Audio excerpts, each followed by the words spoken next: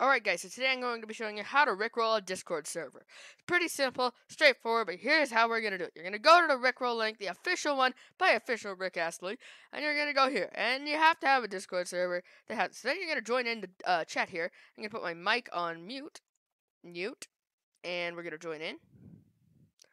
Alright, then you're going to want to go to What? the bot commands I'm chat a here, handicapped person. and go here. Often uses the general term of Go down to here, then, You're Play. abusing me, Brush aren't your you? teeth then Control B. with a brush. There you go.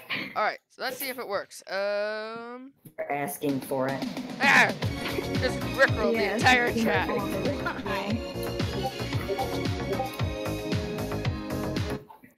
Oh, darn it. Well, that sucked. Got him.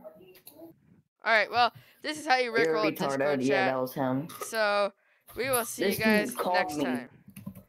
And bye, guys. dude? Thanks.